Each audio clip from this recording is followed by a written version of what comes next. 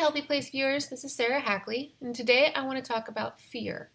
Those of us with anxiety disorders all have an underlying anxiety problem that impacts our day to day life.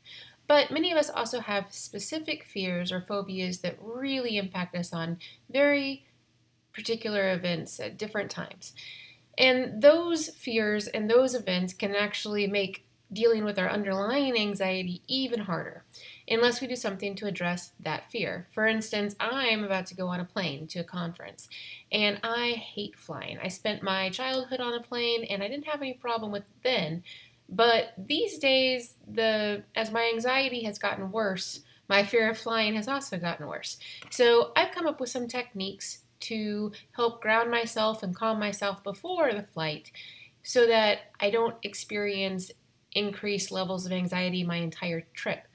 Um, you can do these things too. It's usually the same stuff that you would do just to manage your underlying anxiety, but you do it at a more specific point in time. Um, for instance, I've talked to my doctor about taking some of my um, anti anxiety medications right before I get on the plane.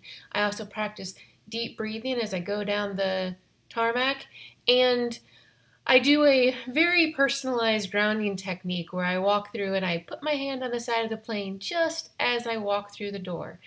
For some reason, for me, that helps ground me and bring me back to the moment and really reduces my overall anxiety.